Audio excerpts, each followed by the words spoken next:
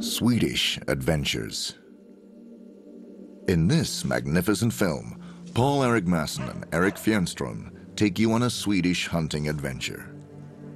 Sweden is the home of the biggest population of moose, at least when it comes to Scandinavia. You will experience a thrilling hunt with dogs and several different ways of hunting the great bow by beating, driving, and stalking.